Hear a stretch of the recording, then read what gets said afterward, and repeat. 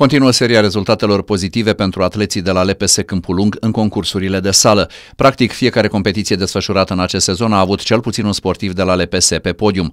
Așa s-a întâmplat la sfârșitul săptămânii trecute, când, în zilele de 23 și 24 martie la Bacău, s-au desfășurat concursurile din cadrul Campionatului Național de Sală, sportivi sub 16 ani.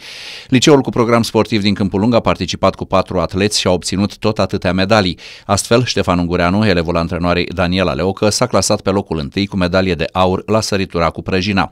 Izabela Bărboi, antrenor Gigi Ivan, a fost pe locul al doilea cu medalie de argint tot la săritura cu prăjina, iar Dumitru Vulcoci, antrenoare Daniela Leocă, a fost pe locul al doilea la 60 de metri garduri și locul al treilea la săritura cu prăjina, obținând medaliile de argint și bronz.